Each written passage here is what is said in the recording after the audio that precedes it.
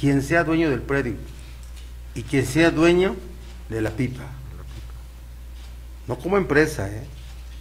los socios, los socios y los delincuentes. Yo puedo afirmar que todos son lo mismo. Enfrente hay una gasera. Enfrente hay una gasera. Todo eso se debe investigar. Este hecho no va a quedar impune. Vamos a ir a fondo. A fondo. El presidente de la República está informado.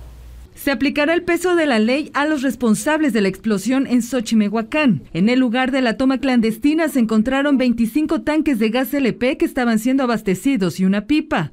El gobernador Miguel Barbosa Huerta señaló que se indemnizará a los familiares de una persona que perdió la vida, continuará la atención a 11 lesionados y más de 50 viviendas serán reconstruidas. En Puebla hay una lucha constante en contra del robo de combustible. Destaca la coordinación entre los diferentes niveles de gobierno. Cuando hay un reporte, la ente que lo recibe se coordina con los demás para hacerle frente. Resalta la disolución de bandas de robo de gasolina en la Sierra Norte. Lo que tenemos hoy son dos ductos que pasan, que vienen del, de Veracruz y pasan rumbo a México, Guadalajara. ¿A dónde? Azcapotzalco y Guadalajara y entonces es lo que nos pasa por la ciudad, ¿sí? Y es por eso que hoy el triángulo rojo es el triángulo de robo a gas. Y ahí estamos todos los días.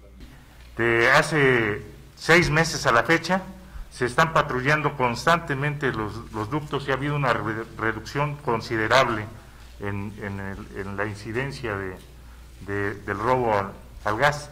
Es importante mencionar que se conformó un grupo de mando interinstitucional por la Secretaría de la Defensa Nacional, Secretaría de Gobernación y Pemex, instalado en el C5 de la Secretaría de Seguridad Pública del Estado, pero los tres niveles de gobierno seguirán trabajando en la zona cero. Eso es una tragedia y no vamos a comenzar a escatimar ni a hacernos a un ladito de los hechos. Gobierno del Estado responde. Gobierno del Estado tiene finanzas sanas y responde. Sed Noticias.